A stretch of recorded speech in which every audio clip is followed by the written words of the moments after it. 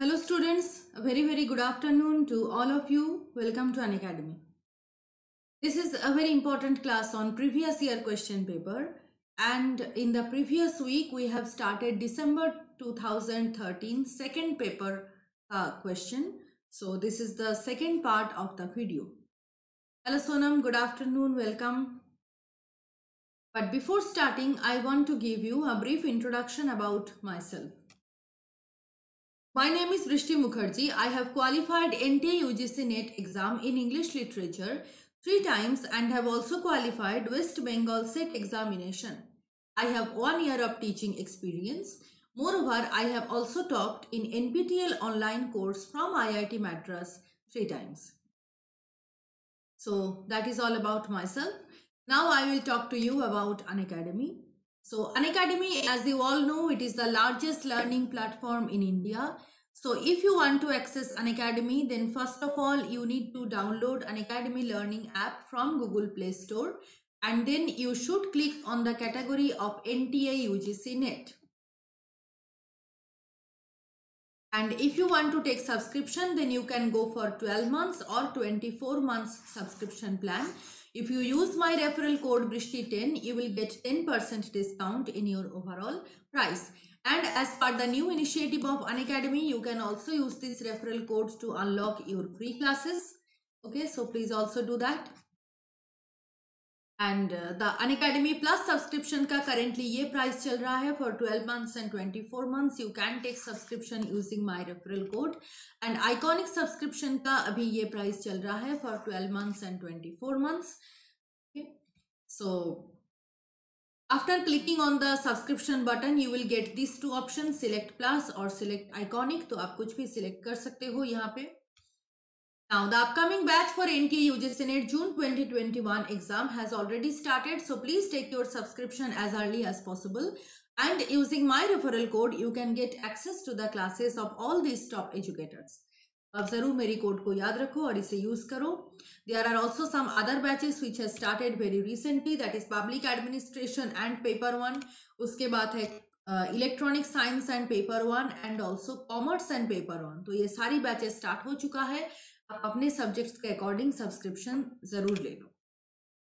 So this is my profile in Unacademy learning app so please click on the follow button so that you will be notified every time I will post a new special class तो जिन्होंने भी अभी तक नहीं follow किया, ज़रूर मेरी profile को फॉलो कर लेना। हेलो आरिया good afternoon welcome so Unacademy has already launch for you iconic subscription plan जहाँ पर आपको ये सारी एक्स्ट्रा फैसिलिटीज़ मिल रहा है personal coach study planner study booster session doubt clearing sessions interview preparation तो ये सारी चीज़ आप ज़रूर एक्सेस करो आइकॉनिक सब्सक्रिप्शन के through you can see here these are the benefits of iconic subscription जो कि प्लस में नहीं है। तो जिन्होंने भी सब्सक्रिप्शन नहीं लिया, वो आइकॉनिक सब्सक्रिप्शन को यूज़ करो। It will help you with seven structured codes उसके बाद है six dedicated doubt clearing sessions उसके बाद है two study planner and also S O P and interview preparation and also five preparatory study material both for N T A U G C net and C S I R U G C net तो आप ज़रूर subscription ले लो। अभी twenty five percent का discount चल रहा है। मतलब आज तक बेसिकली डिस्काउंट है। Fifteen January at four P M से ये लॉन्च हो चुका है। Iconic is now live and price hike होने वाला है बहुत जल्दी। फ़र्स्ट फेब्रुआरी से प्राइस हाइक हो रहा है मतलब कल से। कल से प्राइस हाइक हो रहा है तो इससे पहले आप ज़रूर सब्सक्रिप्शन ले लो। आज रात को बारह बजे से पहले आप सब्सक्रिप्शन ले सकते हो, जिनको भी लेना है। हेलो लेसाना गुड आफ्टरनून वेलकम तो आज तो ये कॉम्बैट सेशन हो गया। हाँ तो please join this two telegram channels to get notifications of all important classes and also subscribe these YouTube channels to get uh, notifications of all important classes. Okay. तो अभी हम स्टार्ट करने जा रहे हैं। इससे पहले आप ज़रूर इस वीडियो को लाइक एंड शेयर कर दो ताकि और भी स्टूडेंट्स आज जुड़ सके। आज स्टूडेंट बहुत कम लग रहा है। आप ज़रूर लाइक एंड शेयर कर दो क्योंकि आज पीवाईक्यू का क्लास है। तो आपका पार्टिसिपेशन बहुत इंपॉर्टेंट है। तो ज़रूर आप ज्वाइन कर लो।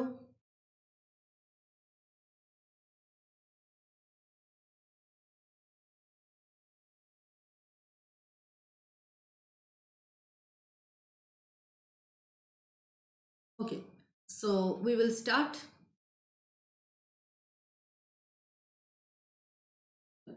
ये आज का फ़र्स्ट क्वेश्चन है which is not a quest narrative not again not है यहाँ पर. Which is not a quest narrative Alastor Manfred Christabel Endymion कौन सा क्वेस्ट नैरेटिव नहीं है? तो आप कमेंट सेक्शन में answer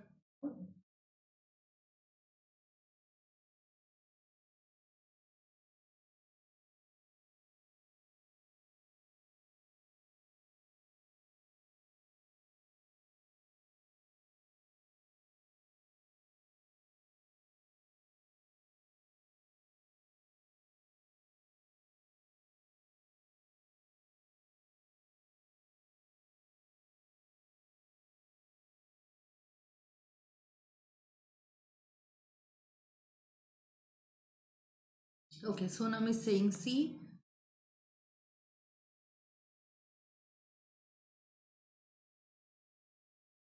ठीक है बाकी स्टूडेंट्स भी आंसर करो. सोनम कह रहा है सी क्रिस्टबल अच्छा.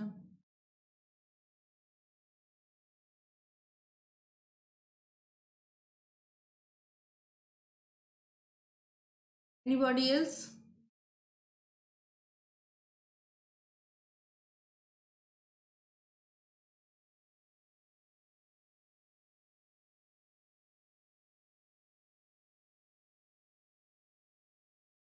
ओके तो बाकी कोई आंसर नहीं कर रहा। यस सोनम ने सही बताया है it is Christabel option number C is the correct answer it is Christabel तो क्रिस्टबल क्वेस्ट नैरेटिव नहीं है। क्वेस्ट नैरेटिव का क्या मतलब है? आपको नाम से ही समझ आते हैं कि it is a particular form of story और अ फॉर्म ऑफ़ नैरेटिव जहाँ पर एक क्वेस्ट की बात होता है। Quest means a kind of adventure तो हीरो कोई एडवेंचरस जर्नी में जा रहा है या फिर वो बहुत सारी ऑब्स्टैकल्स को ओवरकम करके वो एक चीज़ को, वो एक पर्टिकुलर लक्ष्य तक पहुँच रहे हैं तो ये जो टाइप का नैरेटिव है that is actually quest narrative ठीक है?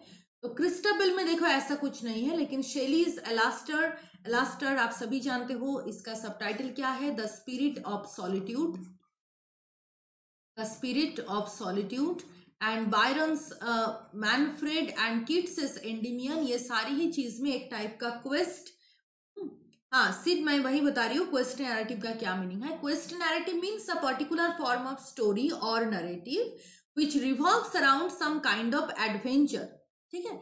जहाँ पर एडवेंचर किस, किसी चीज़ का या फिर इसका मेन प्लॉट लाइन क्या होता है कि कोई भी हीरो वो एक पर्टिकुलर लक्ष्य को पाने के लिए, एक पर्टिकुलर गोल को अचीव करने के लिए वो किसी एडवेंचर में जा रहा है एंड वो बहुत सारी ऑब्स्टैकल्स को सहन करके वो पर्टिकुलर उस ऑब्जेक्ट को पाते हैं या फिर नहीं पाते हैं तो इसका जो स्टोरी होता है purely adventurous story the story of a quest which means आप किसी चीज़ को ढूँढने जा रहे हो, खोजना। तो दैट इज़ क्वेस्ट नैरेटिव तो ये सारी जो वर्क्स है Christ sorry Alastor Manfred and Endymion इन सभी के पास एक एडवेंचरस एलिमेंट है, कुछ एडवेंचर में जाने का या फिर कुछ चीज़ को ढूंढ लाने का। इस टाइप का चीज़ क्वेस्ट नैरेटिव में है, लेकिन क्रिस्टाबल में ऐसा कुछ नहीं है। क्रिस्टाबल का जो प्लॉट लाइन है, वहाँ पर ये कुछ नहीं है। तो क्रिस्टाबल एक फ्रेगमेंटेड पोएम है कोल्ड्रिज का बहुत ही ब्यूटीफुल पोएम है, शायद आप सभी ने पढ़ा होगा। क्रिस्टाबल में देखो जेरल्डाइन आ रहे हैं क्रिस्टाबल क्रिस्टाबल का क्रिस्टाबल को क्षति पहुँचाने के लिए but Christabel is a very innocent girl she doesn't know that and she actually takes Geraldine as a woman in distress तो वो जब उसे अपने पैलेस में पैलेस के अंदर बुलाता है जेरल्डाइन को then what happens that is actually the story of Christabel. तो देखो यहाँ पर कोई adventurous journey in that sense नहीं है. कोई भी कहीं पर नहीं जा रहे हैं। ठीक है? तो इसका मतलब क्रिस्टाबिल कहीं पर नहीं जा रहे। Christabel becomes the victim of a witch called Geraldine तो ये पोएम है। लेकिन बाकी तीनों जो वर्ष के बारे में हमने बताया, इन तीनों वर्ष के अंदर ही इस टाइप का एक एडवेंचरस जर्नी के बारे में, कुछ एडवेंचरस स्टोरीज के बारे में यहाँ पर बात होता है। So that is why it is a quest narrative and Christabel is not a quest narrative ठीक है? क्लियर है? ओके.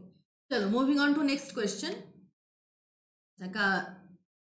तो जो भी स्टूडेंट्स ने ज्वाइन कर लिया प्लीज़ वीडियो को और लाइक एंड शेयर करो ताकि और भी स्टूडेंट्स आ सके। क्योंकि देखो, ये क्विज कॉन्टेस्ट है, इस मतलब ये पी वाई क्यू का क्विज क्लास है तो इसमें आपका पार्टिसिपेशन ही बहुत इंपॉर्टेंट है। अगर आप सभी ना हो तो इस क्लास का कोई वैल्यू नहीं। तो आप प्लीज़ क्लास को ज्वाइन कर लो। Okay moving on to next question next question क्या है? The novel has a scene where African American students are made to compete and fight with each other as they rush for the gold coins tossed on an electric blanket Native Son Another Country Invisible Man Bluest स्टाई इन novels के, इन इन particular novel के बारे में हमने already discuss कर लिया है क्लास में। तो आप बताओ कि ये कौन सी नॉवल की बात यहाँ पर हो रहा है?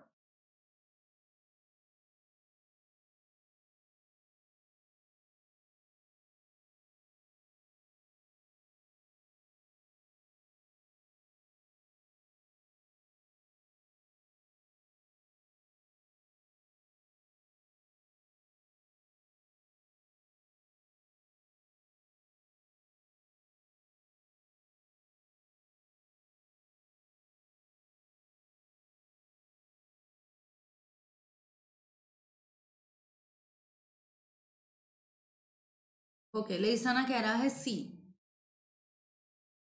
ठीक है? बाकी स्टूडेंट सोनम बी कह रहा है Another Country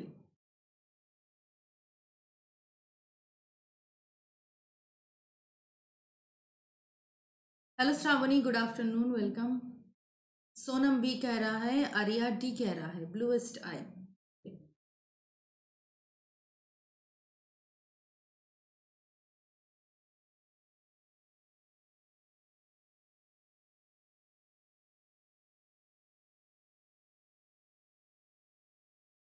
अच्छा तो श्रावणी बताओ क्या होगा इसका answer? Hello Shivdayal good afternoon welcome Sid कह रहा है B yes good afternoon Sid welcome Shravani saying B Another Country okay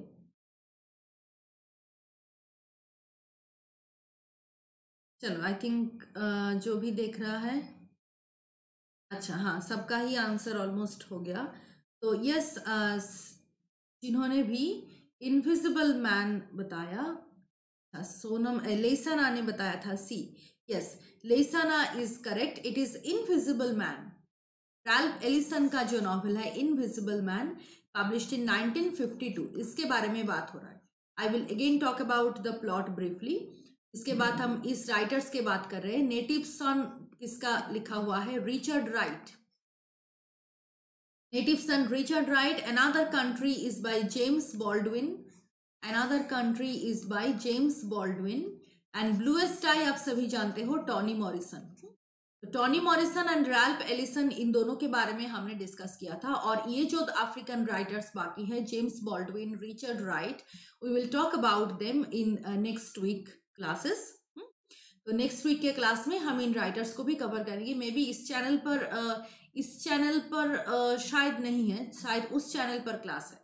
मतलब जो let's crack N T U जिससे नेट चैनल है वहाँ पर वी विल टेक क्लास या फिर स्पेशल में भी हो सकता है आई विल इन्फॉर्म यू ठीक है?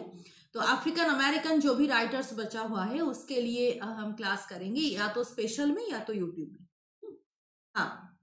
No it is not Ellison's Invisible Man Shravani देखो यहाँ पर अफ्रीकन अमेरिकन स्टूडेंट्स की बात हो रहा है।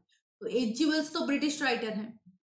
ये रैल पेलिसन का इनविजिबल मैन है, ठीक है? तो इसका क्या बेसिकल स्टोरी था कि who is the invisible man he is an anonymous black man जो कि एक अंडरग्राउंड हाउस में रहते थे। And he is actually lighting his own underground room with thousands of electric lights which is operated, which are operated from the power stolen from the main electric grid. तो वो power station से power चोरी करके electric चोरी करके वो अपने ही रूम को हंड्रेड्स ऑफ़ लाइट्स मतलब एक रूम में हज़ार हज़ार लाइट वो लगा कर रखा है just to waste the electricity अब वो ऐसा क्यों बन गया? इसका डिस्क्रिप्शन क्या है कि वो, वो बहुत ही ब्रिलियंट एक स्टूडेंट था तो उसको एक स्कॉलरशिप मिलना था। तो अब उसे बताया गया कि स्कॉलरशिप के मनी को आपको एक्टिवेट करने के लिए एक गेम में पार्टिसिपेट करना है that is battle royal what is the game all about that game is about कि कुछ ब्लैक अफ्रीका कुछ ब्लैक पीपल के बीच में एक बॉक्सिंग uh, कंपटीशन होगा। So they will be they are eyes will be close तो आँखों में पट्टी बाँध करके एक होगा ठीक है? आँखों में पट्टी बांधकर एक कंपटीशन होगा बॉक्सिंग कंपटीशन और वहाँ पर जो ऑडियंसेस है the audiences will be purely fight and they will mock at those black man and throw electric coins sorry throw fake gold coins on the electric blanket तो उसके आँखों में पट्टी बांधा है उसको उस कॉइन को लेना है। देखो ये बहुत ही डेंजरस गेम है वो किसी भी टाइम uh, में उसको शॉक लग सकता है वो मर जा मर सकता है तो यही गेम था। And he refuses to participate तो ऐसे करके प्लॉट लाइन होता है। तो यहाँ पर वही गेम की बात हो रहा है, जिस गेम का नाम है बैटल रॉयल आपने जिन्होंने भी वो क्लास नहीं देखा, वो प्लेलिस्ट में अवेलेबल है, आप देख सकते हो। ठीक है? बैटल रॉयल था उस गेम का नाम। हम्म। हाँ। मैम अनादर कंट्री का राइटर कौन है? श्रावणी श्रावणी मैंने बताया अनादर कंट्री का राइटर है जेम्स बॉल्डविन ये देखो मैंने यहाँ पर लिखा है। अनादर कंट्री का राइटर है James Baldwin and Bluest Eye का राइटर आप सभी जानते हो दैट इज़ टॉनी मॉरिसन इसलिए मैंने ये नहीं लिखा। तो Toni Morrison and Ralph Ellison इन इन दोनों के ऊपर ही ऑलरेडी क्लासेस हो चुका है। एक ही क्लास में मैंने शायद दोनों को कवर किया था या फिर दोनों अलग अलग क्लास थी मुझे याद नहीं आ रहा। तो आप एक बार चेक कर लेना अफ्रीकन अमेरिकन लिटरेचर की जो क्लास है वहाँ पर हमने बात की थी इनविजिबल मैन का। Okay okay. uh, हाँ James Baldwin yes James Baldwin तो ये क्लास हो गया मूविंग सॉरी ये क्वेश्चन हो गया moving on to next question next question है the Windhover is dedicated to to Christ our Lord to Christ our Lord देखो, दोनों ऑप्शन सेम है, लेकिन यहाँ पर एक कॉमा है, यहाँ पर कॉमा नहीं है। To no one to Christ the Lord इसको डेडिकेट किया गया? द विंड होवर दोनों ऑप्शन सेम ही है, लेकिन ऑप्शन ए में एक कॉमा है ऑप्शन बी में कॉमा नहीं है। एग्जैक्टली exactly किस तरीके से लिखा गया है पोएम में? विथ कॉमा और विदाउट कॉमा और बाकी दोनों ऑप्शन में भी हो सकता है। अब बताओ कि इसमें कौन सा ऑप्शन सही है?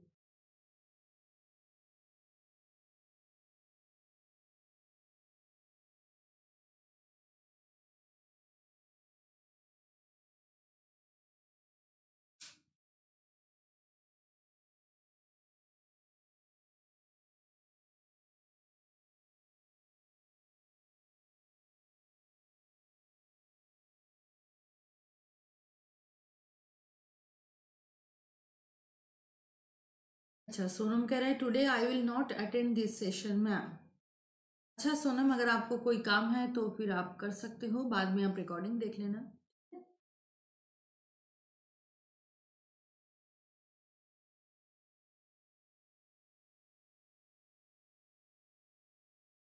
ओके श्रावणी कह रहा है B to Christ our dot okay without comma Isana is also saying B. Arya is also saying B.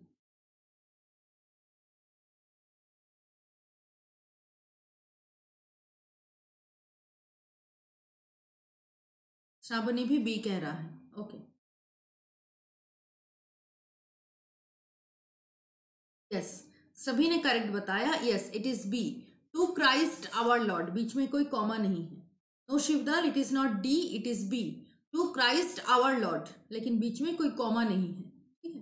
To Christ our Lord आप सभी जानते हो विंडोवर किसका पोएम है? रिटन बाय हॉपकिंस किन्स का पोएट्री है विंड होवर सो ये बेसिकली उन्होंने डेडिकेट किया टू क्राइस्ट आवर लॉर्ड आप सबने सही बताया ऑप्शन बी करेक्ट है. Moving on to next question question number fourteen fourteen देखो ये साइज़ uh, मुझे थोड़ा सा छोटा करना पड़ा क्योंकि एक स्लाइड में नहीं आ रहे थे। तो आप uh, ध्यान से देखो ये मैचिंग है। यहाँ पर चार ऑथर्स का नाम दिया है एंड यहाँ पर चार पोएम्स का नाम है। तो आपको मैच करना है। ये ऑप्शंस है। मैं आपको थोड़ा सा टाइम दे रही हूँ आप ध्यान से पढ़ लो। यस जी एम हॉपकिंस हाँ मुझे आ, थोड़ा सा छोटा करना पड़ा क्योंकि ये स्लाइड में नहीं आ रहे थे। स्लाइड से बाहर जा रहे थे इसलिए मुझे छोटा करना पड़ा। तो आप ज़रा ध्यान से देखो और बताओ कि क्या हो सकता है। कौन सा ऑप्शन सही हो सकता है? चार ऑथर्स एंड चार पोएम्स बहुत ही फ़ेमस ऑथर्स है एंड बहुत ही इंपॉर्टेंट पोएम्स भी हैं।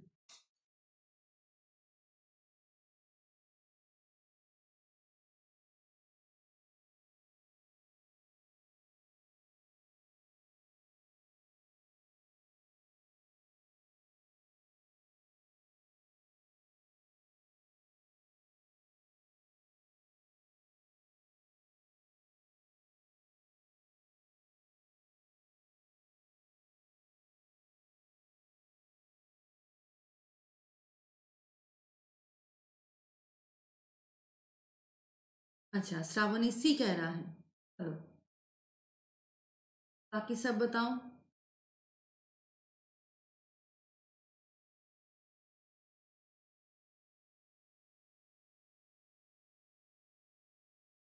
बाकी सब बताओ स्टूडेंट सिर्फ़ श्रावणी ने आंसर दिया। जो भी क्लासेस कर रहे हो, जो भी मन में आ रहा है, आप बताओ, कोई प्रॉब्लम नहीं अगर गलत भी हो तो भी कोई प्रॉब्लम नहीं है। आप बताओ कि क्या हो सकता है आंसर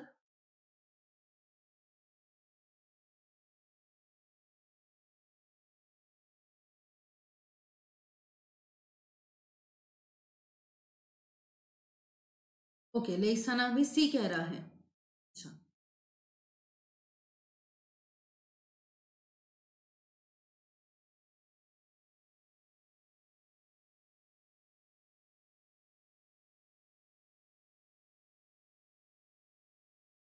ओके।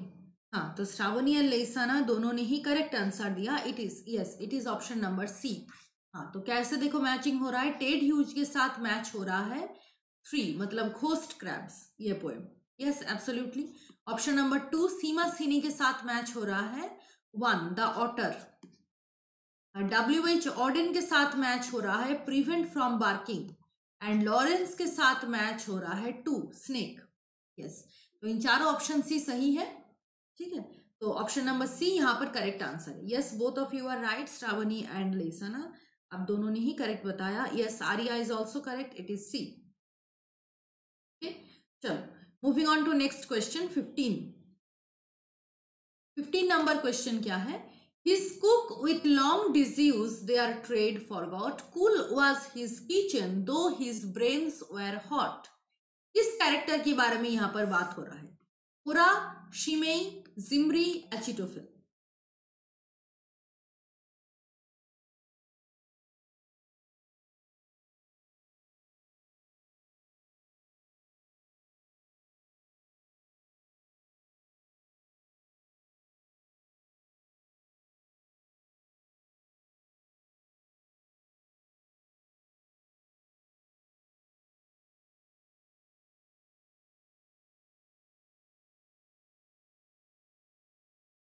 चलो इसका क्या होगा बताओ? His cook with long disuse their trade forgot cool was his kitchen though his brains were hot very humorous line एक कुक की बात हो रहा है जो बहुत दिनों से कुकिंग के साथ एसोसिएटेड नहीं है।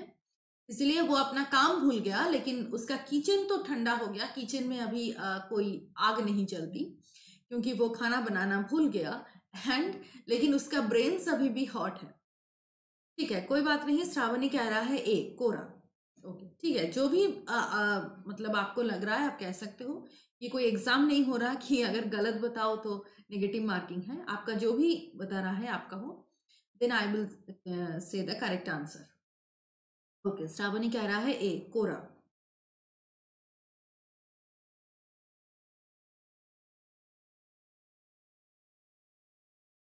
मुझे लग रहा है ए और डी कोरा और एचिटोफिल। अच्छा। ठीक है, बाकी बताओ, बाकी students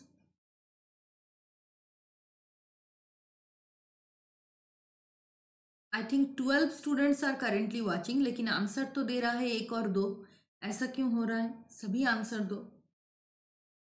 एसाना बी कह रहा है, आर्या बी कह रहा है Shimei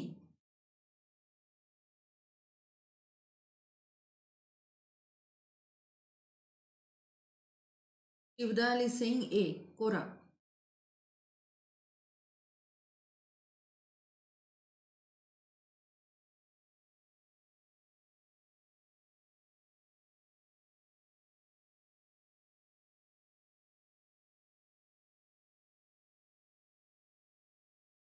Rishabh hello Rishabh good afternoon welcome Rishabh B कह रहा है शिमे अच्छा चलो। तो यस अच्छा hello Alka good afternoon welcome Alka D कह रहा है एचिटोफिल तो यस बी बताया जिन्होंने शिमेई बताया था लेसाना आर्या एंड ऋषभ ने यस तो यहाँ पर ऑप्शन नंबर बी सही है, ठीक है शिमे तो कौन से नॉवल से है सॉरी कौन से वर्क से मैं बता रही हूँ? एब्सलम एंड एचिटोफिल ड्राइडन का very famous satirical poem Absalom and Achitophel से ये लाइन को लिया गया, ठीक है? तो एब्सलम एंड एचिटोफिल में आप सभी जानते हो कि Dryden is satirising some contemporary characters जैसे एब्सलम कौन है? एब्सलम है Geoffrey of Monmouth and Achitophel कौन है? एचिटोफिल है आर्ल ऑफ़ शैप्सवेल ये आप जानते हो। तो यहाँ पर ही एक कैरेक्टर और जिमरी किसको बोला गया है? ड्यूक ऑफ़ बकिंगहैम को। तो ये ये क्वेश्चंस भी आते हैं कि कौन से कैरेक्टर का, कौन से फिक्शनल नाम दिया गया। ठीक है? तो ड्यूक ऑफ़ बाकिंगहैम एक्चुअली उसको नाम दिया गया है Zimri hello Dhananjay good afternoon welcome और शिमे का जो कैरेक्टर है शिमे का असली नाम क्या है? That is Slingsby Bethel Shimei का जो ओरिजिनल नाम है that is Slingsby Bethel वो कौन है? वो लंदन का एक शरीफ है शरीफ ऑफ़ लंदन इस कैरेक्टर को उन्होंने सैटराइज किया शिमेई नाम से ठीक है? सिंग्स बाय बेथल ये उसका असली नाम है उसको सैटराइज किया गया शिमेई नाम से। एंड वो कौन है? वो शेरिफ ऑफ़ लंदन है ठीक है? तो इसका uh, मतलब इसको उन्होंने सैटराइज किया कि वो एक ऐसा कुक है जिसका दिमाग तो अभी जल रहा है लेकिन उसका किचन ठंडा हो गया। तो वो अपना काम भूल गए लेकिन उसका दिमाग अभी चल रहा है एक ओवन की तरह ठीक है? So that is how he is satirising this man Shimei ठीक है तो यहाँ पर option number B correct answer है। शिमे शिमे को उन्होंने कुक कह करके सैटराइज किया। ओके okay, चलो moving on to next question question number sixteen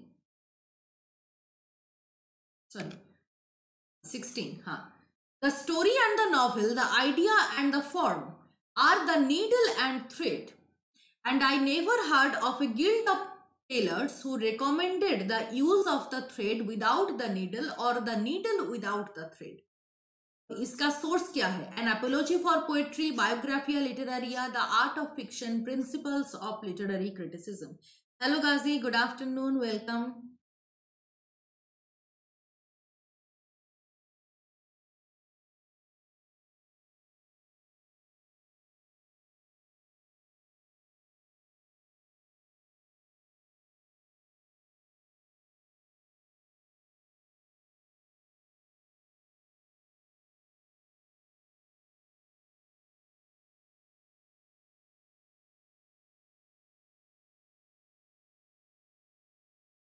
हाँ तो इसका आंसर बताओ क्या हो सकता है?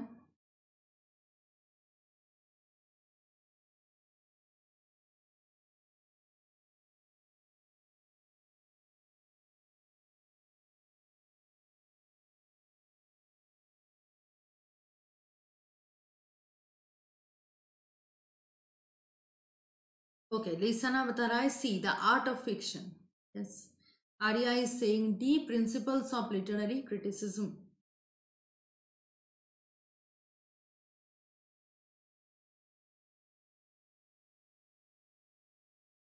Dhananjay C कह रहा है गाजी भी सी कह रहा है। Okay the art of fiction Alka is also saying C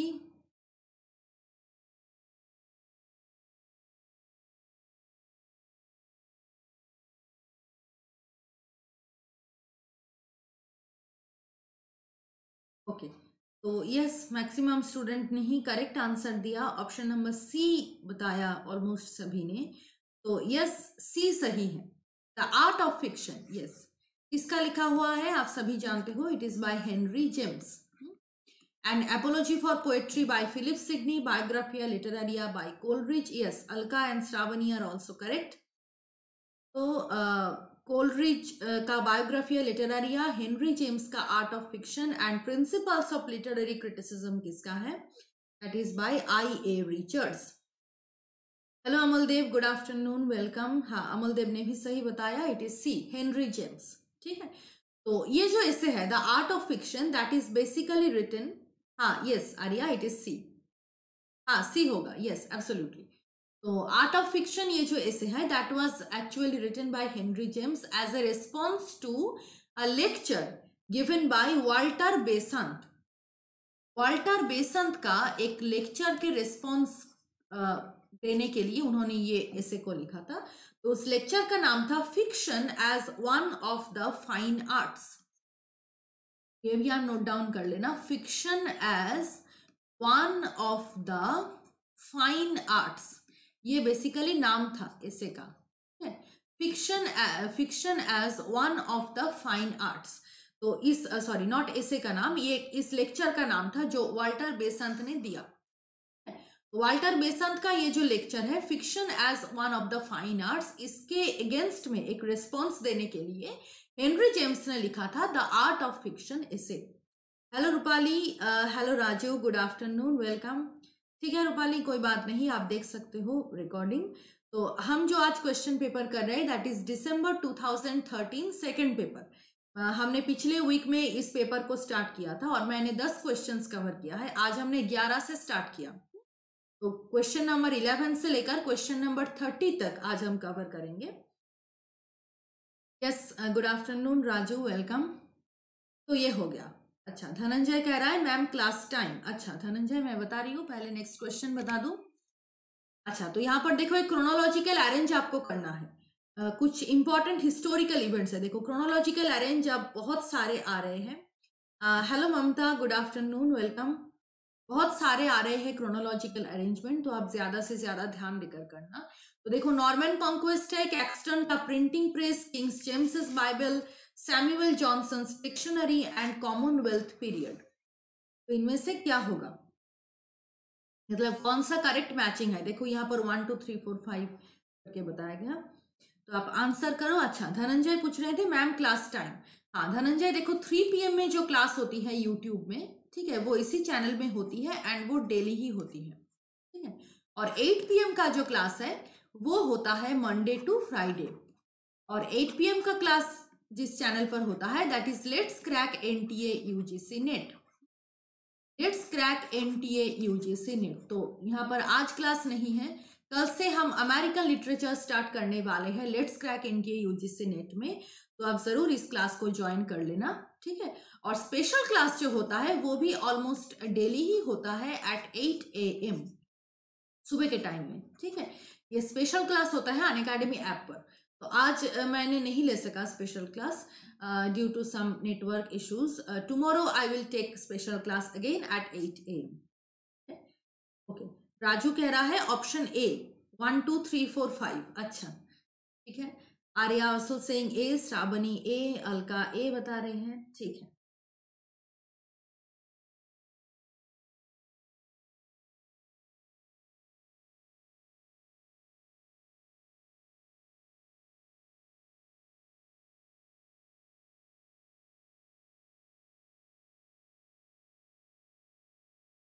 okay Ghazi भी ए कह रहा है Rupali is also saying A चलो यस yes, सही बात है ऑलमोस्ट ओके uh, सभी स्टूडेंट्स ने करेक्ट बताया। Very good yes it is A option number A सही है। नॉर्मन कॉन्क्वेस्ट का क्या ईयर है? यस yes, आपने सभी बताया hundred sixty six Caxton and printing press था fourteen seventy five King James Bible था sixteen eleven sixteen eleven Johnson's Samuel Johnson dictionary था सेवनटीन सेवनटीन फिफ्टी फाइव हाँ yes seventeen fifty five and Commonwealth period का time था sixteen forty nine yes sixteen forty nine से sixteen sixty तक मतलब before restoration Commonwealth period था। Commonwealth period means Oliver Cromwell का जो पीरियड यस श्रावणी कह रहा है Norman conquest thousand sixty six Caxton printing press fourteen seventy five Shravani not six 1475 हाँ yes 1611 King James Bible 1755 Johnson dictionary yes and 1649 से 1660 तक Commonwealth period yes सभी students ने करेक्ट बताया ऑप्शन ए सही है यस ऑप्शन ए सही है।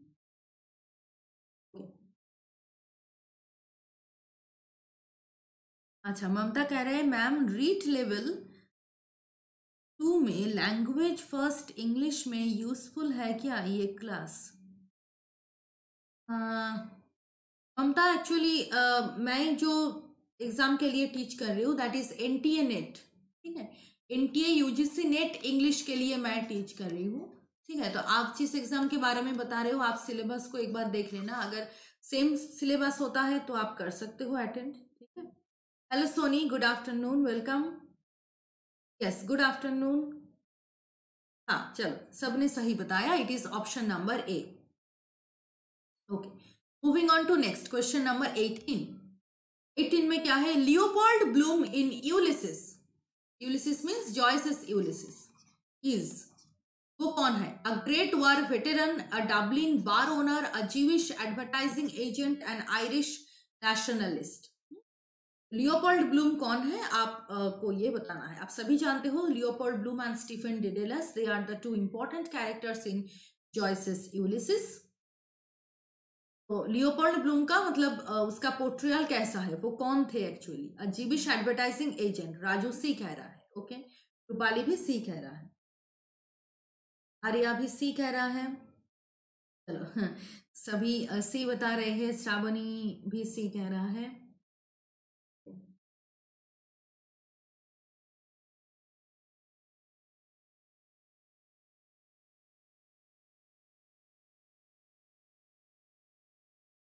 ममता भी सी कह रहा है।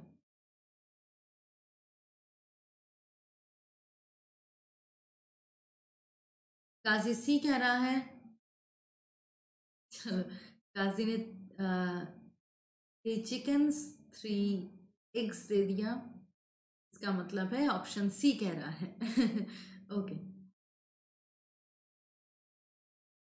हाँ तो सभी स्टूडेंट्स ने सही बताया। Yes it is a Jewish advertising agent ये काफ़ी सिंपल ही था क्वेश्चन यस यूलिसिस में लियोपोल्ड ब्लूम का जो प्रोफेशन है that is option number C a Jewish yes Lisna is also right it is C a Jewish advertising agent यही सही ऑप्शन है।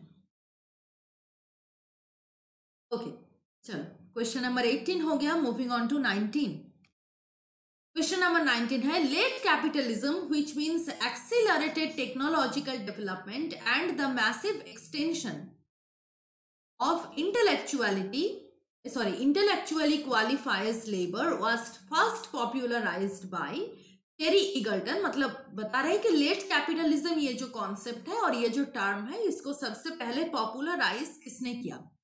Terry Eagleton Ernest Mandel Raymond Williams और Stanley Fish option B कह रहा है Raju Ernest Mandel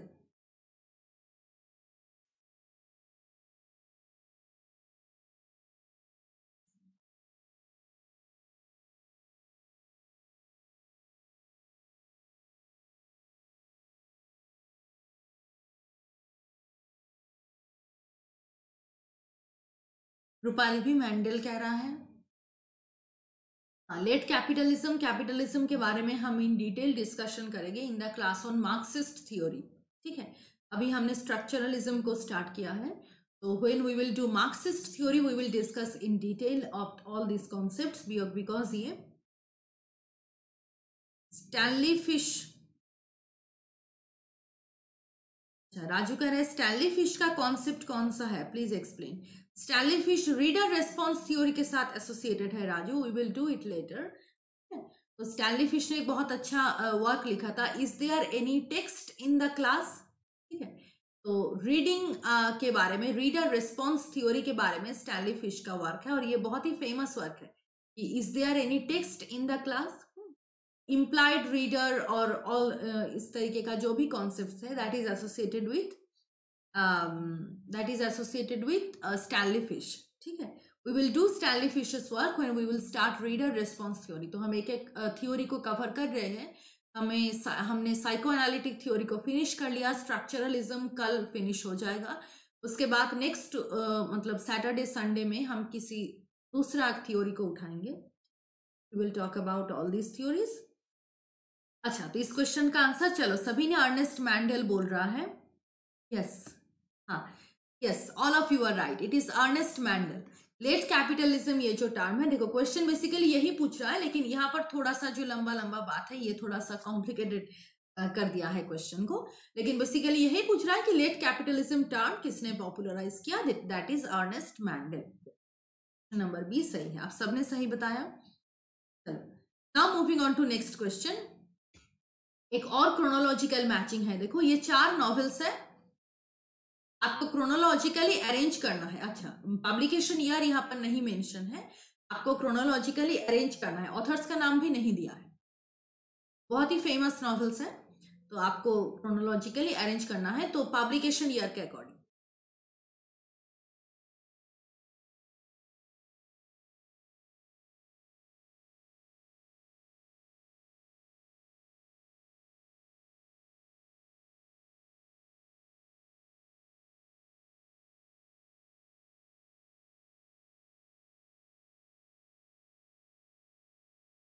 option B कह रहा है Raju. Three two one three one two four अच्छा।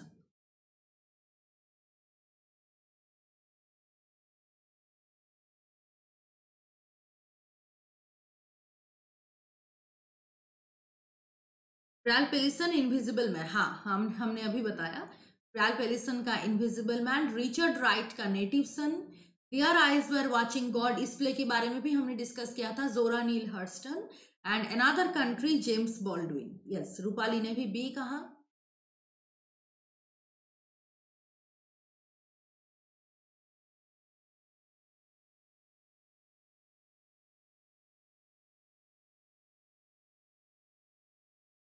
जेम्स बॉल्डविन अनदर कंट्री हाँ yes Raju James Baldwin James Baldwin हमने डिस्कस नहीं किया। हम नेक्स्ट वीक में uh, या फिर स्पेशल क्लास में we will cover okay Lisna B कह रहा है। अच्छा चलो सभी ने बी बताया गाजी भी uh, हाँ गाजी भी बी कह रहे हैं चलो। ओके यस तो सभी स्टूडेंट्स ने करेक्ट बताया it is option number B option number B सही है। तो कैसे मैच हो रहा है? Their eyes were watching God that was published in nineteen 1937 by Zora Neale Hurston. उसके बाद आप कह रहे हो कि है native son yes native son ही है published in 1940 native son was published in 1940 उसके बाद है टू मतलब इनविजिबल मैन इनविजिबल मैन मैंने, हमने अभी बताया it was published in 1950 sorry 1952 और अनदर कंट्री ये जो नॉवेल है it was published in 1962 yes absolutely it is correct तो सबसे पहले सी है then one then two and then four yes option B सही है. Yes option number B invisible man is a novel of H G Wells also yes लेकिन H G Wells का जो novel का टाइटल है that is the invisible man ये ये बस आप थोड़ा सा याद रखना. एच जी वेल्स के नॉवेल्स में नॉवल में एक द है, लेकिन रैल पेलिसन के नॉवल में द नहीं है. ठीक है? सिर्फ़ invisible man but H G Wells का नॉवल है द इनविजिबल मैन लेकिन हम द को अक्सर ओमिट कर देते हैं लेकिन यही डिफरेंस है बेसिकली अदरवाइज़ टाइटल सेम है। तो इसलिए कंफ्यूज होता है। सो so, यहाँ पर invisible man H G Wells का नहीं यहाँ पर बात हो रहा है रैल पेरिसन का। इसीलिए देखो द नहीं दिया है सिर्फ़ इनविजिबल मैन दिया है। ओके okay, चलो। क्वेश्चन नंबर ट्वेंटी हो गया और दस क्वेश्चन है आज थर्टी तक। आप जल्दी जल्दी कवर कर लो। ट्वेंटी वन क्वेश्चन ये है। Metaphor is so wide spread that it is often use as an umbrella term to include other figures of speech such as metonym which can be technically metonymy actually which can be technically distinguished from it from in its narrower usages identify the metaphorical phrase अच्छा देखो question अच्छे से समझो। ये एक type का quotation है, ठीक है? ये कोटेशन की बात हो रहा है। हम्म तो ये कोटेशन आपको दिया गया है और यहाँ से आपको पूछ रहा है कि मेटाफोरिकल फ्रेज कौन सा है, आप इसको आइडेंटिफाई करो। तो यहाँ तक कोटेशन है, ठीक है? मेटाफोर के बारे में ही कोटेशन है और मेटाफोरिकल फ्रेज कौन सा है, इसके बारे में क्वेश्चन पूछ रहा है। तो मेटाफोर बता रहा है कि एक अम्ब्रेला टर्म है और इसके अंदर मेटोनिमी सिनेक्टोकी के टाइप इस टाइप के बहुत सारे फिगर्स ऑफ़ स्पीच को आप इंक्लूड कर सकते हो। तो identify the metaphorical phrase in this particular quotation अच्छा राजू कह रहा है डी अम्ब्रेला टर्म इस लाइन का एक सोर्स भी है I will also tell you but सबसे पहले सोर्स अगर आप नहीं भी जानो तो कोई भी प्रॉब्लम नहीं। आपको आंसर करना है कि मेटाफिजिकल सॉरी मेटाफोरिकल फ्रेज कौन सा है। अच्छा रूपाली भी कह रहा है umbrella term okay option number D Shravani भी कह रहा है डी हाँ गासी भी डी कह रहे हैं, चलो umbrella term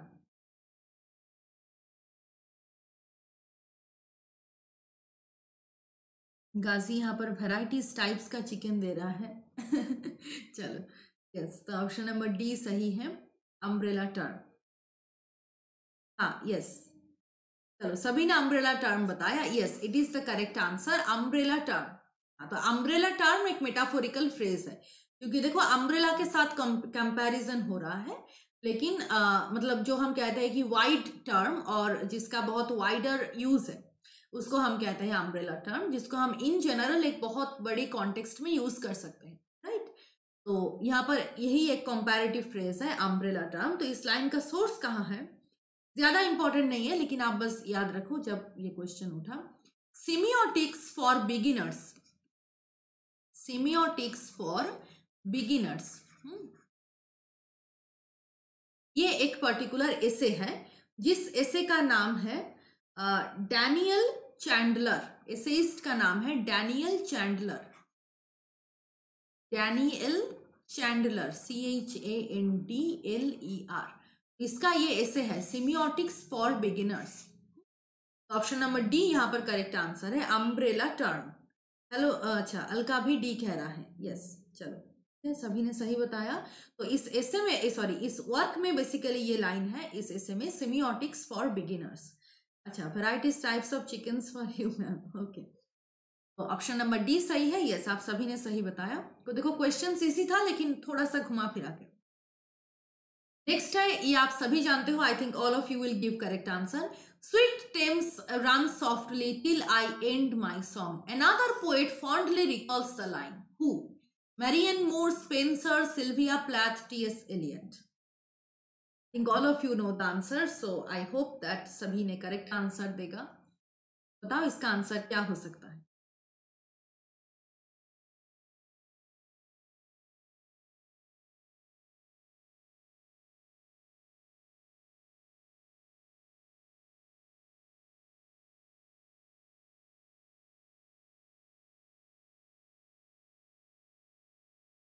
okay okay, Alka D कह रहा है रूपाली डी कह रहा है राजू भी डी कह रहा है। चलो ठीक है? बाकी स्टूडेंट्स बताओ। वेस्टलैंड वेस्टलैंड यस एलियट हाँ। I think all of you will give correct answer Shravani wasteland कह रहा है यस यस एलियट अच्छा सबका सबका आंसर हो ही गया आई थिंक भी डी कह रहा है पॉपुलर एलियट को वोट देंगे हम. अच्छा। अलका डी कह रहा है ओके. यस यस आप सबने सही बताया। Yes it is option number D तो सबसे मतलब ये तो टी एस एलियट ने बाद में यूज़ किया वेस्टलैंड में लेकिन सबसे पहले किसने यूज़ किया? स्पेंसर ने। और ये कौन सी पोएम का लाइन है ये भी आप जानते हो प्रोथैलामियन प्रोथैलामियन का ये लाइन है जो कि टी एस एलियट ने यूज़ किया in the wasteland yes absolutely Lesana ने भी सही बताया yes option number D T S Eliot का वेस्टलैंड में हमको ये लाइन मिलता है बहुत ही फ़ेमस लाइन है बहुत ही इंपॉर्टेंट लाइन है तो आप याद रखना प्रोथैलामियन का लाइन है तो सबसे पहले मतलब जिस लाइन जो एक्चुअल ऑथर है that is Spenser but later T S Eliot alludes to this line in the Waste Land next क्या है? Twenty three question twenty three number question the tramp in the caretaker caretaker किसका play है? Harold Pinter Harold Pinter Harold Pinter का play है caretaker तो the tramp in the caretaker often travels under an assumed name it is Bernard Jenkins, Rowley Jenkins, Jack Jenkins, Peter Jenkins. Yes, Spencer first used it Yes.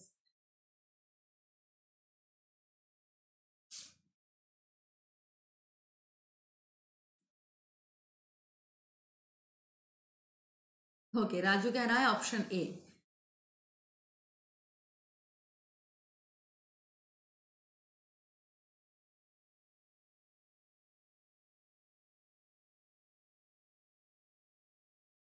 Shravani भी A कह रहा है Bernard Jenkins okay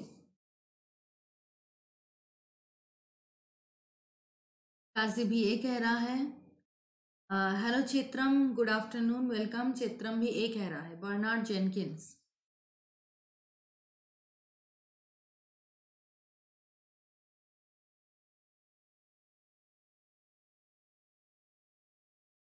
जेनकिन की याद आ रहा है ma'am first name confuse अच्छा हाँ सभी में इसीलिए देखो ऑप्शंस भी वही दिया गया। सभी में जेनकिंस है। लेकिन उसका पहला नाम क्या है? ठीक है। तो चलो, सभी ने हाँ तो ए भी जिन्होंने बताया, ये सभी ने ए बताया, A is the correct answer इसका पहला नाम बर्नार्ड ही है, Rupali. Bernard Jenkins that is the name of the tramp character in Harold Pinter Harold Pinter के प्लेस के ऊपर भी हम अलग से एक क्लास लेंगे, when we will talk about all these plays.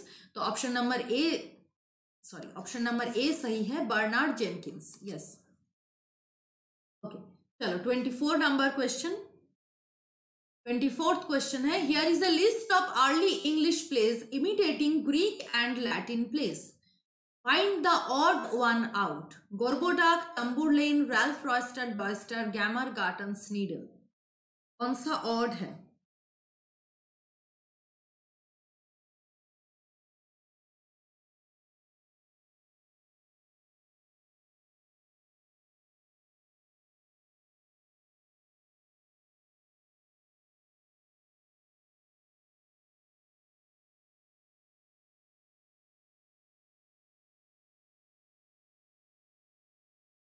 B by Marlowe yes Tamburlaine the Great हमने मार्लो की। पर ऑलरेडी एक क्लास कर चुके हैं we have talked about Tamburlaine ठीक है, रूपाली कह रहा है बी राजू भी कह रहा है B Marlowe's play Tamburlaine Shravani is also saying B Tamburlaine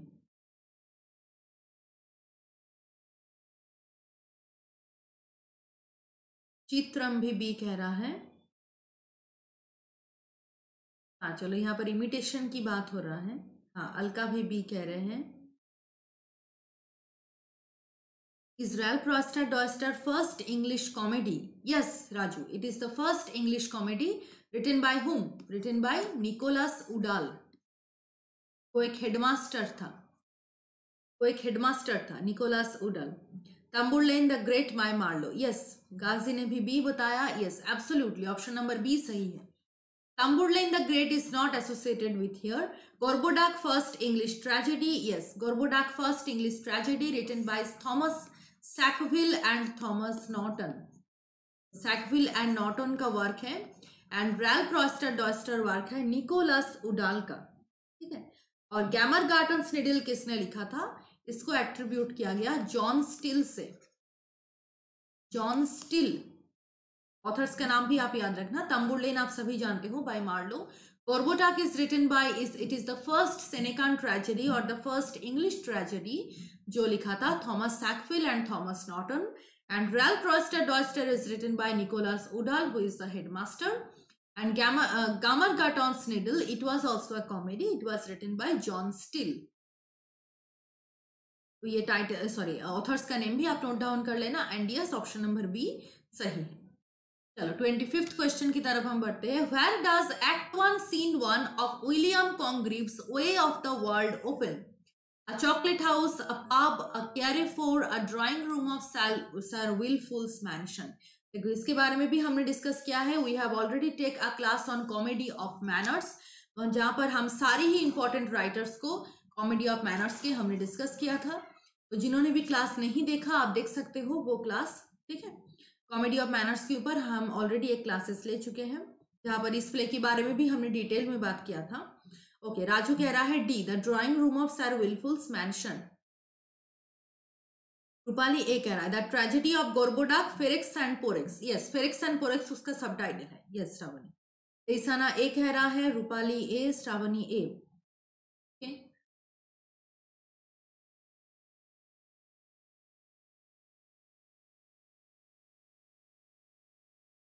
I am confuse A और डी अच्छा। हल्का ए कह रहा है।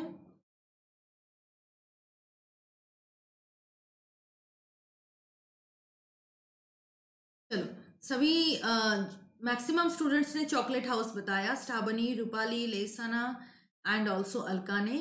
राजू इज़ कंफ्यूज ठीक है तो राजू ने भी ए और डी के बीच में कंफ्यूजन बताया तो ए ही बेसिकली सही है।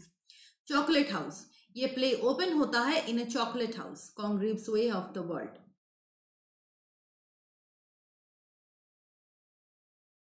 चलो नेक्स्ट क्वेश्चन क्या है?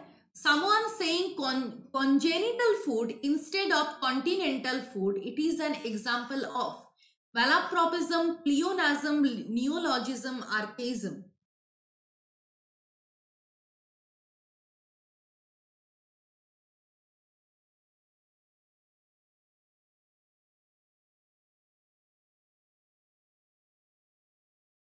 अच्छा श्रावणी कह रहा है A is correct okay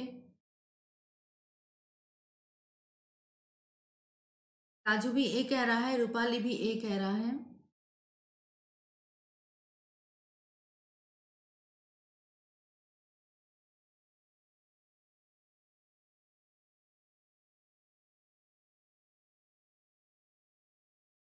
Shravani भी ए कह रहा है।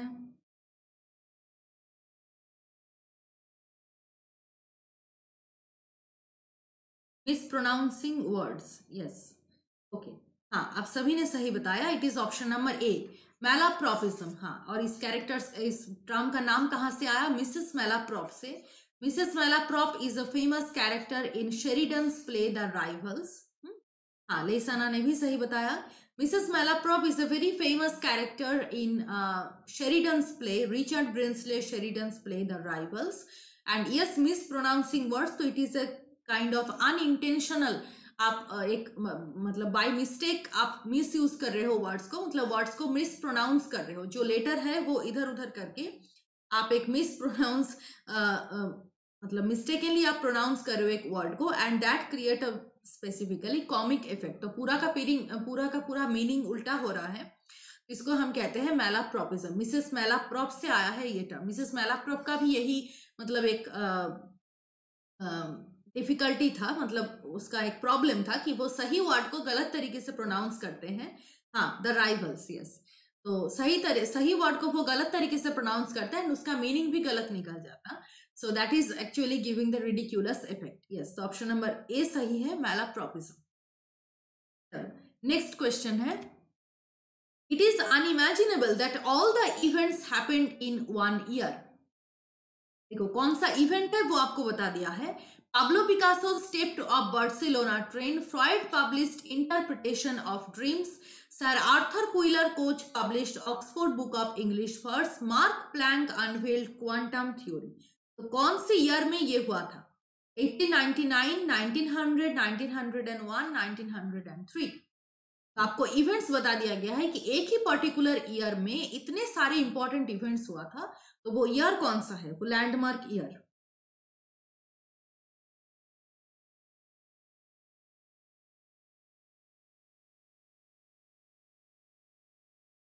different different fields में कॉन्ट्रीब्यूशन है। पाब्लो पिकासो पेंटिंग में कर रहा है आर्थर क्विलर कोच लिटरेचर में फ्रॉइड थियोरी के ज़माने में मतलब साइकोलॉजी में और मार्क प्लैंग कर रहा है फिजिक्स में तो मतलब पूरे के पूरे जॉनराज में ये डेवलपमेंट दिखा गया डिफरेंट टाइप्स ऑफ़ जॉनराज में तो वो कौन से प्रोडक्टिव ईयर है ओके okay, रूपाली कह रहा है 1900 राजू कह रहा है बी और C okay okay.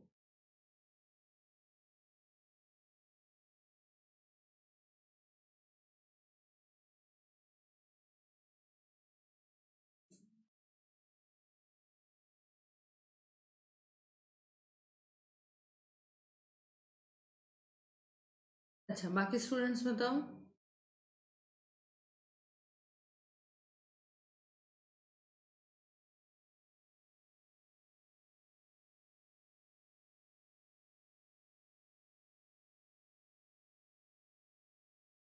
Shravani A कह रहा है। ईसाना बी कह रहा है। 1899 day dream a concept of Sigmund Freud day dream नहीं है राजू। फ्रॉइड ने एक चीज़ बताया जो कि है ड्रीम का दोनों aspect dream displacement and dream condensation ठीक है? तो ड्रीम में हम बेसिकली क्या देखते हैं? हमारी अनकॉन्शियस में जो भी खतरनाक डिजायर्स है, उसको मॉडिफाई करके हम ड्रीम में देखते हैं। सपोज़ आपका ड्रीम है कि आप किसी मतलब आपका, आपके अनकॉन्शियस में ये डिज़ायर है कि आप किसी पर्सन को मारना चाह रहे हो। लेकिन आप सपने में देख रहे हो कि आप उसको मार नहीं रहे हो, आप उसके घर में जाकर उसके जो सबसे फेवरेट खाना है उसको खा रहे हो, ठीक है? आप फ्रीज से निकाल करके एक पर्टिकुलर डिलीशियस केक उन्होंने बनाया, आप उसको खा रहे हो, ठीक है? या फिर आप एक बड़ा अच्छा सा फ्लावर फस है उसके घर में, आप उसको डिस्ट्रॉय कर रहे हो। इस टाइप का जो चीज़ है कि ड्रीम डिस्प्लेस हो रहा है। तो day dream in that sense नहीं है ड्रीम का दोनों ही पार्ट्स उन्होंने बताया dream displacement and dream condensation मैंने साइको एनालिटिक थ्योरी के ऊपर ऑलरेडी दोनों क्लासेस लिया है तो आप देख सकते हो पार्ट वन पार्ट टू करके वीडियोस है। ठीक है? हाँ तो ऑप्शन नंबर बी सही है यस ऑप्शन नंबर बी जिन्होंने भी बताया लेसना ने बताया था बी आ, अच्छा। रूपाली कहते थे बी राजू ने कंफ्यूजन बताया यस तो ऑप्शन नंबर बी सही है। हाँ फ्रॉइड पब्लिश इंटर बेसिकली यही एक क्लू है। देखो बाकी सारी चीज़ें हमको uh, मतलब बताना मुश्किल है क्योंकि ये डिफरेंट फील्ड्स का है। लेकिन ये हम सभी जानते हैं कि फ्रॉइड का इंटरप्रिटेशन ऑफ़ ड्रीम्स पब्लिश हुआ था 1900 में तो ये आपके लिए क्लू है। हम्म, अगर ये नहीं होता तो आंसर देना मुश्किल हो जाता right yes id ego super ego concept हाँ बहुत ही इंपॉर्टेंट कॉन्सेप्ट है हमने ऑलरेडी डिस्कस कर लिया फ्रॉइड के बारे में। एक पूरा का पूरा एक क्लास फ्रॉइड के ऊपर ही था तो आप वीडियो देख सकते हो। ठीक है ऑप्शन नंबर बी यहाँ पर सही है। मतलब 1900 जो ईयर है दैट इज़ करेक्ट चलो, और तीन क्वेश्चन है twenty eight question brother to a prince and fellow to a beggar if he found worthy this is the epigraph to the hollow man the man who would be king Silas Marner Howards End ये epigraph कौन से work में है?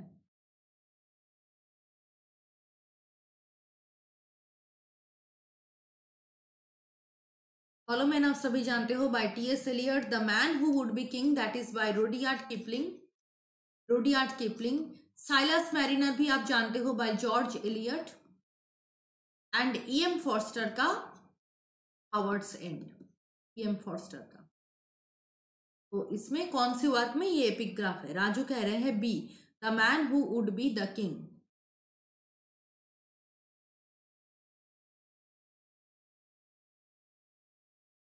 I think यहाँ पर the नहीं है। The man who would be king यही टाइटल है। The man who would be king. ठीक है? रेसाना कह रहा है बी। ओके okay, राजू कह रहा है हाँ रोडी रोडियट किपलिंग का ये वर्क है the man who would be king. यहाँ पर द नहीं है द नहीं है the man who would be king. Rupali भी बी कह रहा है।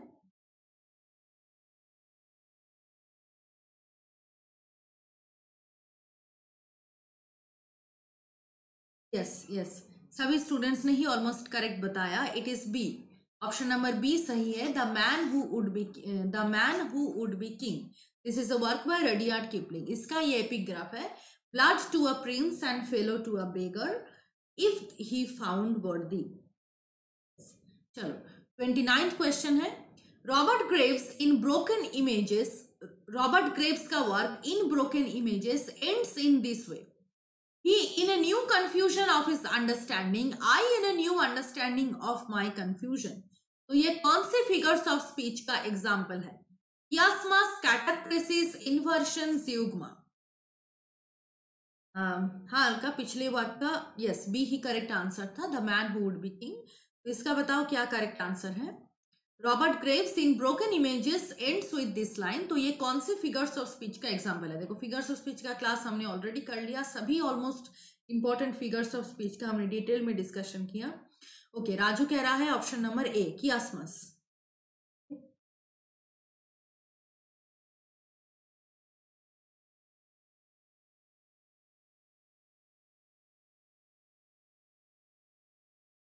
चलो, बाकी सभी बताओ क्या आंसर है? श्रावणी भी ए कह रहा है कियासमस रूपाली भी ए कह रहे हैं. Desana is also saying A. हाँ यस आप सबने सही बताया it is option number A तो कियासमस में क्या होता है कि the first part of the sentence is actually inverted in the second part तो यहाँ पर भी देखो सेम हो रहा है in a new confusion of his understanding i in a new understanding of my confusion so yes it is an ideal example of chiasmus yes all of you are right uh, hello hunain good afternoon तो yes A सही है आप सबने सही बताया चलो, आज की क्लास का लास्ट क्वेश्चन ये है the phrase leaves dancing is an example of leaves dancing pathetic fallacy hyperbole pun concept ये भी फिगर्स ऑफ़ स्पीच से है। तो लीव्स डांसिंग किसका एग्ज़ाम्पल है?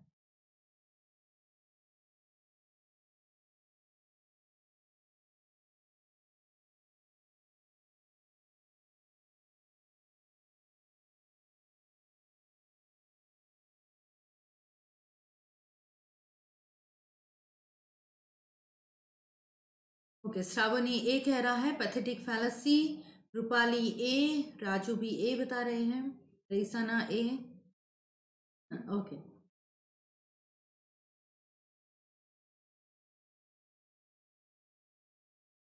Pathetic fallacy yes yes all of you are correct all of you are correct it is pathetic fallacy तो pathetic fallacy में हमने क्या देखा?